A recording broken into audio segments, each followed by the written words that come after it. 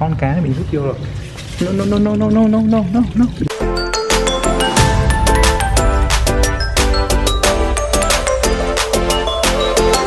Hello, xin chào mừng các bạn đã quay trở lại với channel của mình trong ngày hôm nay Nội dung của video ngày hôm nay á thì uh, mình sẽ thay nước cho cái hồ cá bảy màu bình tích của mình trong cái hồ xi măng ở đây, trước nhà mình đây.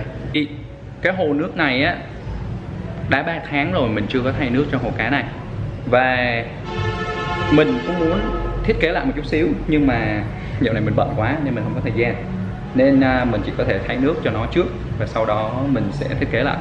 Sau và trong khi thay nước của nó thì mình sẽ nói thêm một số vấn đề mà các bạn cần phải lưu ý khi các bạn thay nước.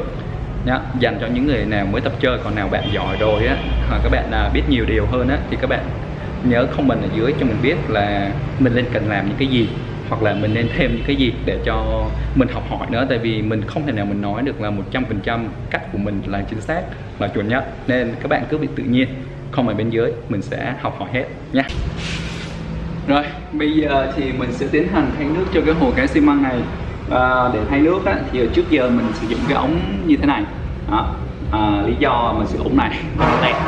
À, mình cũng tính là dùng cái ống này này đây cũng tính là dùng cái ống này nhưng mà um, cái tốc độ hút của nó hơi chậm. Và hồi nãy mình có kiểm tra rồi là trong hồ này á số lượng cá con nó cũng không có quá nhiều ở dưới phần đáy của cái hồ này.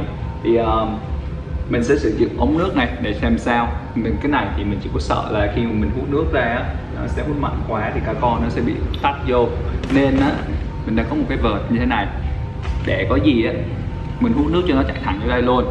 Rồi nếu mà vô tình hút phải cá con á, thì nó sẽ nằm ở trong đây, nó không có chết. Nhưng mà mình sợ là cái lực nước nó mạnh quá, giờ để mình thử trước coi sao. Lâu quá không sử dụng cái ống này á, nên à, nó hơi cong, dở quá, để rửa xíu. Yeah.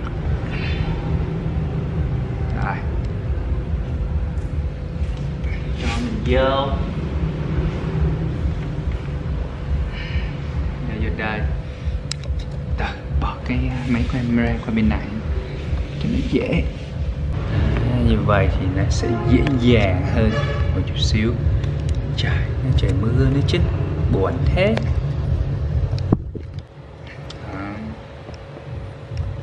Đây đây ok. Ừ.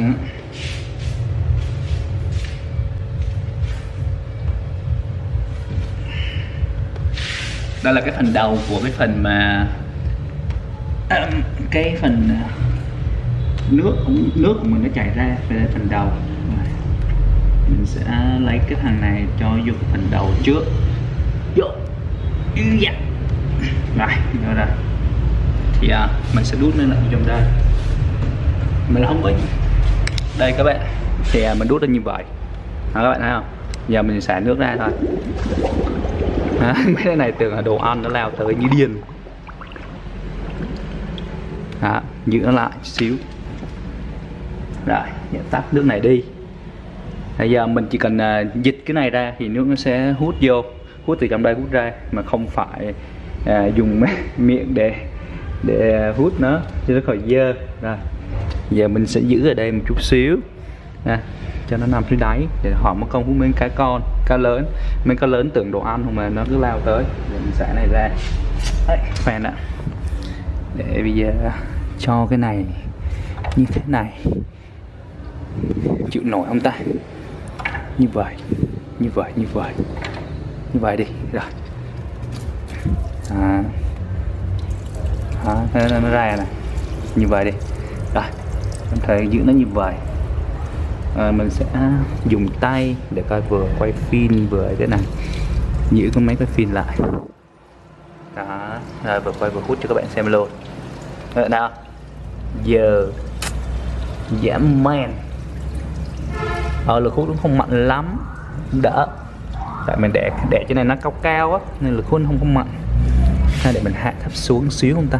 Không sao.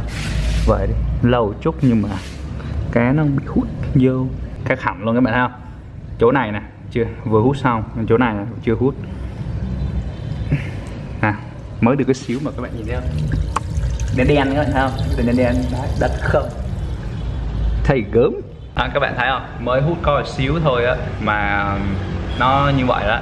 Cái này mà mình dùng cái cái nước uh, nước cá này nè hay nước cá. Bạn nào mà trồng uh, cây á, bạn dùng cái phân này của cá hoặc là nước cá này, các bạn à, tưới vô cây bảo đảm cây của bạn nó mau lớn, dã man luôn. Bên bên mỹ mình hay làm vậy. Mình à, mỗi lần thay nước á, mình để à, ở trong một cái thùng khác. Rồi sau đó mình dùng cái thùng đó để mình tưới cây, tưới hoa, để cho cây nó phát triển. Nó một dạng như là phân lỏng dành cho cây vậy. Chứ mình bỏ đi hơi phí. Tụi này nó cứ bu vô đây không ta? Các bạn đồ ăn nó một cái bu. Wow nó hơi sáng một chút xíu. À, các bạn thấy cái trắng trắng này không? Để mình lấy lên cho các bạn xem. Nè trắng trắng này nè đen đen nè giống như đá nè. Đó cái này là san hô mình để ở dưới san hô vụn á. Cái lý do mình để ở dưới thì à, các bạn biết rồi đó san hô tác dụng là nó tạo ra chất canxi rất tốt dành cho cá và nó giúp làm cho nước nó cứng và nó phù hợp với một số loài cá cạnh giống như là cá bảy màu nè binh tích nữa bạn nên để một san hô vô thì nó sẽ tốt hơn. Đó, đó lý do tại sao mấy cái hồ cá của mình hồ nào mình cũng để san hô.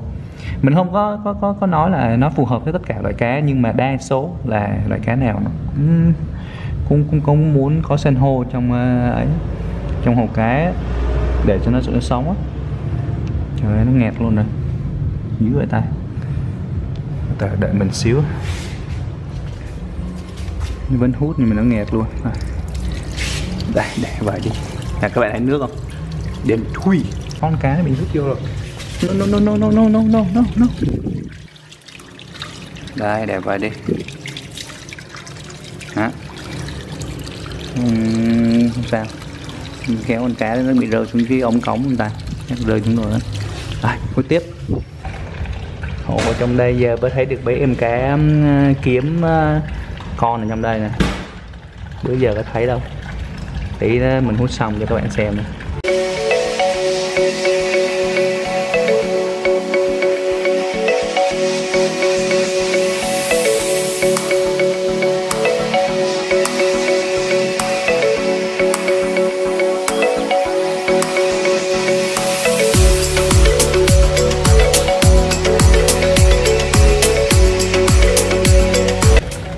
Là mình à, rút nó ra luôn. Rồi nhấc nó lên. Cho nó ra hết được nước. Rồi giờ kiểm tra này coi. Cái em cá nào bị dính trưởng nằm trong đây không? Hình như là không thấy gì chứ. Để coi bên này coi. Có nước đây nè. Uhm... oh, không có em nào ta? Bới bới đây nè con nào bị chìm ở dưới không? Thấy vậy? Hmm, mình tài ra không không thấy có em nào bị dính vô đây luôn. Rồi em cá này cũng khôn đấy không bị uh, lực hút nó bám vô đây. À, các bạn ha giờ như gì? Nè tí phải à, đổ cái nước ra đây rửa lại. Rồi mình đã hoàn thành xong là hút nước của nó đây. Bây giờ thì mình cho các bạn xem cái này. Đây đó. Đây là cá của mình đây. Hôm bữa nước cái mực nước nó hơi bóng á không nhìn thấy được. À, bây giờ sẽ thấy rõ ràng hơn. Và dòng đây á mình sẽ à, đi nguyên bài, nhìn vui ghê. Không hoảng loạn tốt. Mấy em cá của mình không hình lại đây cho các bạn xem này đây. Có một số bạn nói mình á, là mình không có nuôi tép ở trong hồ. Úi sợ nó nhảy như điên. Không có nuôi tép ở trong cái ờ, hồ này được tại vì nó không có oxy á. Nhưng mà mình thấy là ừ, nuôi được tại vì à, mình thả vô nè 3 tháng nè. Bữa mình thả mua khoảng chục con út trời nó bún như điên ghê. Nè dính dính tay luôn nè. Ừ, thấy không ta để lúc lên ô oh, nó bay ra ngoài nó bay ra ngoài. Nhảy tưng tưng tưng tưng. Dưới đây cầm cái đầu nó lên để dễ. Nè các bạn đó tép người trong hồ này hồ này có 10 10 con đó bữa mình mua 10 con à. À, bơi xuống này. Yeah. Bơi xuống này yeah. Khi mà các bạn nuôi tép cặp á hoặc là bất cứ loại tép nào á thì tép là một loài nó nhạy cảm với nguồn nước nhất. Mình để ý rồi nên á mình để tép ở dơ bạn muốn thử cái nguồn nước của các bạn nó có bị sốc mà hồ cá của bạn đang nuôi chung với tép á là các bạn sẽ nhìn con tép là các bạn sẽ thấy đầu tiên tép là một loài rất là sốc với cái nguồn nước mà thay đổi. Nó sẽ chết đầu tiên và nó phản ứng mạnh nhất luôn. Là nếu mà bạn, hồ các bạn đang nuôi tép ở trong đó, có tép ở trong đó mà các bạn thấy thay nước vô, mà con tép của bạn nó hoàn loạn, nó bơi như một con điên nên là bơi tới, bơi lui, bơi bay, bơi mà muốn bay ra khỏi nước luôn. Nó bơi trên mặt nước rồi luôn nè. Đó. Thì chứng tỏ là cái nguồn nước của các bạn nó không có phù hợp. Còn nếu mà tép của bạn nó như con tép của mình là nằm góc này này các bạn không? Nó nó vẫn ở dưới bình thường và nó không có gì hoàn loạn nó bạn không? Nó đâu có bơi lên bình lên mặt nước như thế này đâu thì chứng tỏ là nước của bạn chuẩn ok. Không có một tí xíu gì làm cho cá của bạn nó bị sốc. Đó. Còn nếu mà hiện tượng uh, cái tép của bạn nó bơi như điên như mình nói như một con điên bơi lên mặt nước luôn á. Bơi mà cứ mè mè mè mè mè mè mép nè tại vì nó thở không được. Thì chứng tỏ nguồn nước của bạn là không có phù hợp cho nó sống. Đó còn chiếc tép của mình thì nó ở dưới đáy. Chứng tỏ là ok. Các bạn không tin thì các bạn cứ thử. Cứ thử là mua một ra ngoài chợ mua một tép về một đống tép về. Các bạn thử hai nguồn nước một cái nguồn nước mà các bạn đang nuôi cá và cái nguồn nước mà các bạn mới mà các bạn không chắc chắn á, bạn thả vô là các bạn thấy liền à tép nó bơi loạn xạ ngầu tại vì nó thở không được. Còn cá thì có thể nhiều khi bạn không có để ý kỹ được. Đó tại vì nó chịu đựng tốt hơn tép nhưng mà tép thì nó phản ứng mãnh liệt lắm.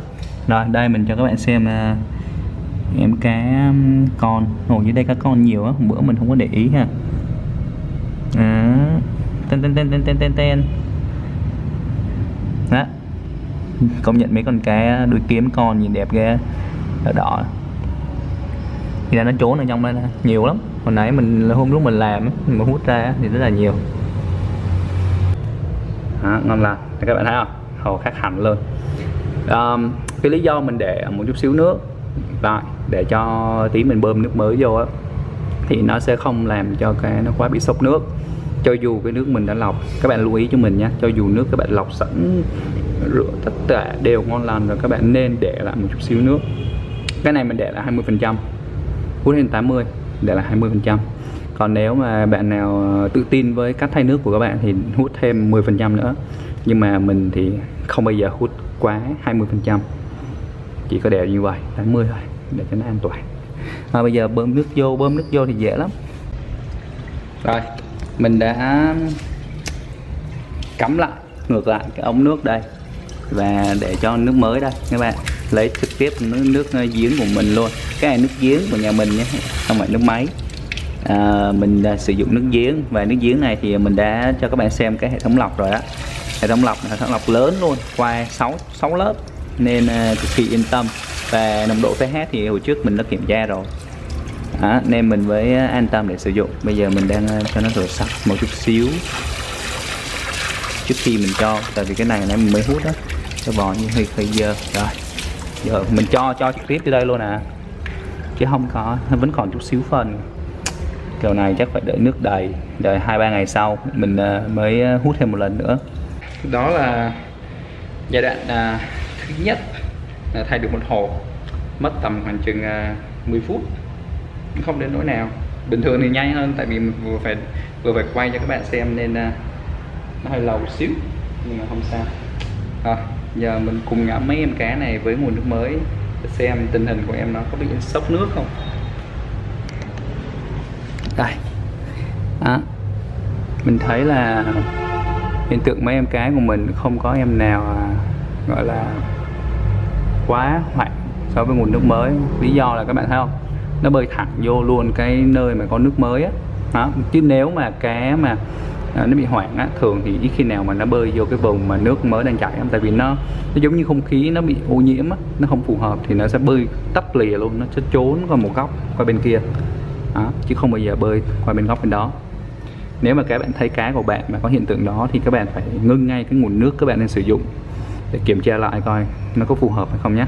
Chứ uh, cá mà nó bơi lùa hết giống như vậy là các bạn không? Lùa hết coi góc như vậy. Đó mà nó không bơi như mấy em này thì nước là nước sạch. Nó bơi ngược lại là các bạn ha. Nó đâu có sợ nước mới đâu, thì chứng tỏ nước mới của bạn sạch sẽ. Các bạn ừ, cứ cho nó chạy bình thường. Và các bạn kiểm tra luôn nè, các thấy không? Trong khi thay nước mà cá của bạn bụng búng tay nè, giống như là kiểu cho ăn á cá nó vẫn tới bình thường, thì chứng tỏ là nguồn nước đấy ok. Đó. chứ đừng y y quá, biết đâu được trường hợp nào đó cái nguồn nước nó bị mưa hay cái gì đó nó làm cho nó ô nhiễm không kiểm tra không để ý kỹ không quan sát. Các bạn không quan sát khi mà các bạn thay nước cho hồ cá thì uh, cái hiện tượng mấy em cá bị sốc nước đó, nó làm cho cá của bạn chết một cách từ từ. Đó, rất là nguy hiểm. Nên lúc nào á cũng phải uh, quan sát thật kỹ. Chứ um, mình nuôi cá từ bé giờ rồi thì thay nước thì chắc nếu mà tính ra thì thay nước chắc vài chục ngàn lần rồi chứ không phải ít và vài trăm ngàn lần rồi.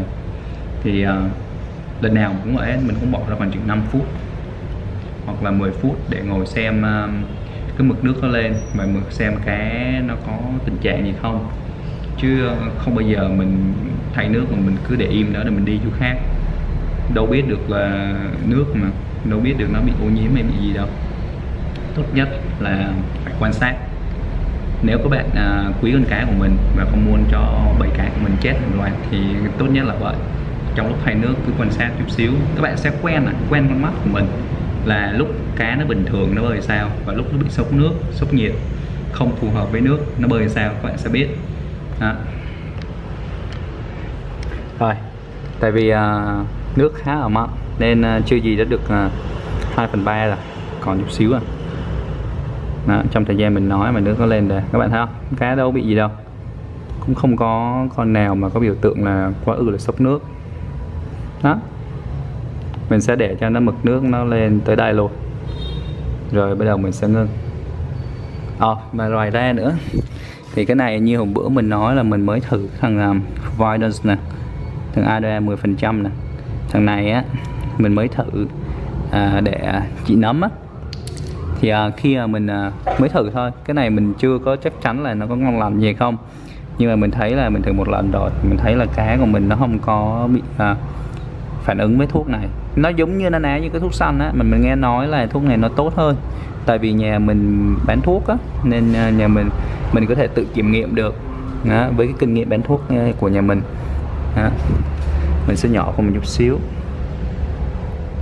xíu thôi. Tại vì cái này mình chưa có kiểm nghiệm chính xác được 100% là như thế nào. Mình sẽ không có nhỏ nhiều bằng số lượng của thuốc xanh nhưng mà cái này chị nấm chị nấm cực kỳ tốt cao hơn thằng thuốc xanh rất là nhiều. Mình chỉ nhỏ chút xíu như vậy thôi. À, cái nắp ở đâu rồi? Trời vừa cầm cái nắp xong rồi mất tiêu rồi. Uh oh nắp đâu rồi? Tí mình sẽ để lại sau. Rồi mực nước đã đã gần rồi. Còn một chút xíu nữa là nó sẽ lên tới nơi đây. Và mình sẽ ngưng và hồ nước mới thay xong đã hẳn trong veo. Hồ thì vẫn trong rồi nhưng mà này khác hẳn luôn. Đỡ dơ tuy là còn là các bạn không còn cái cân cân cân cân cấn ở đây đó, tuy là còn vậy nhưng mà đỡ hơn rất là nhiều rồi. Đấy giờ mình sẽ ngưng nước tại vì mực nước nó lên tới đây rồi. Chứ để cao nữa là nó bắn hết ra ngoài. Đấy ngưng đấy. À, và còn một điều này nữa mình muốn các bạn cần phải lưu ý rất kỹ nè. Cho dù các bạn thay nước tốt như thế nào chuột như thế nào và nguồn nước bạn nói chung là đo lường chính xác như thế nào bạn vẫn cần phải làm một điều này khi mà mà các bạn vừa mới cho nước mới vào trong hồ cái của bạn. Đây. Đó, các bạn thấy không? Chính là một cái sục oxy cho nó chạy ít nhất là 5 tiếng hoặc là nếu được cho nó chạy cả ngày luôn. Đó là ngày hôm sau mình mới tháo ở đây lý do là như thế này. Tại vì cho dù bạn chuẩn như mức nào máy đo lường tốt như thế nào thì trong nguồn nước này vẫn là một cái môi trường quá mới lạ đối với nó thì nó sẽ rất là dễ dàng làm ảnh hưởng đến cái nguồn oxy ở trong cái mực nước. Các bạn đang à, như này, giống như là các bạn đang có ở trong đây. Thì khi các bạn bơm oxy như vậy thì sẽ có một nguồn oxy mới. Cho dù những con cá yếu ớt hoặc là nó chưa quen được với môi trường nước mới thì nó sẽ giúp cho con cá của mình nó thoải mái và sống tốt hơn.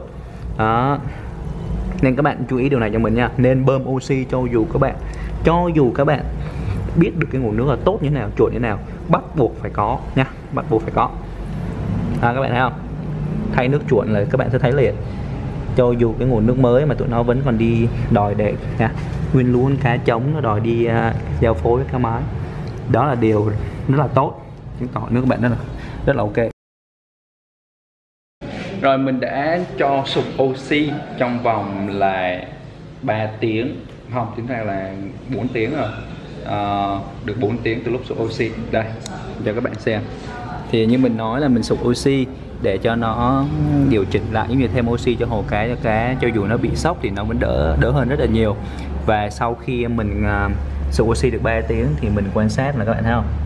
Đó các bạn nhớ chú ý điều này nhé khi các bạn thay nước cho cá mà các bạn sụp oxy mà các bạn thấy cá của bạn trong vòng mấy tiếng đồng hồ sau mà nó có có giống như là nó đang đi ờ, bơi ở dưới đáy và nó có thể giống như đang ăn rồi đó các bạn thấy không?